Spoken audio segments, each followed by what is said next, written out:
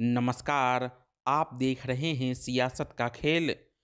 आजमगढ़ ज़िले में समाजवादी पार्टी द्वारा लोकबंधु राजनारायण की अड़तीसवीं पुण्यतिथि पार्टी कार्यालय में मनाई गई।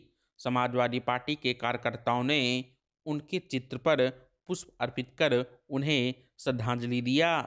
इस मौके पर सपा के दिग्गज नेता, पूर्व मंत्री व विधायक दुर्गा प्रसाद यादव ने कहा कि स्वर्गीय राजनारायण अन्याय, अत्याचार व सरकारी दमन के विरोध में हमेशा संघर्ष किए।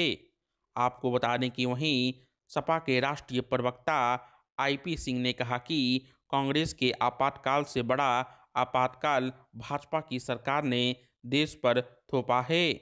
उन्होंने कहा कि अभिव्यक्ति की आज़ादी पर ताला लगा दिया गया है, जो सरकार के विरुद्ध में बोल रहा है उसके विरुद्ध मुकदमे दर्ज कर जेलों में डाल दिया जा रहा है।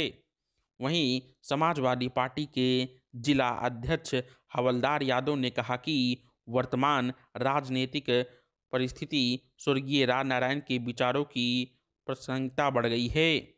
भाजपा सरकार कांग्रेस की तरह तानाशाही के रास्ते पर चल रही है। आपको बता दें कि कल पूरे प्रदेश और देश में लोकबंधु राजनारायण की अड़तीसवीं पुण्यतिथि मनाई गई।